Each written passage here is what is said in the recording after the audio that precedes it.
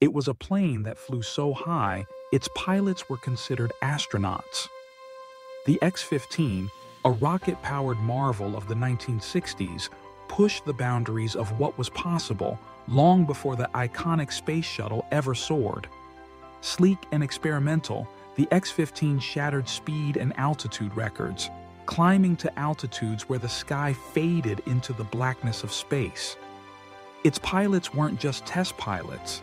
They became the first to earn astronaut wings, crossing the threshold between Earth and the unknown. Each flight was a leap into uncharted territory, gathering critical data about high-speed flight, extreme temperatures, and the effects of near space travel on the human body. The lessons learned from the X-15 shaped the technology and safety protocols of future missions. In the story of space exploration, the X-15 stands as a pioneering vessel, a spaceship disguised as an airplane, charting the way for generations to come.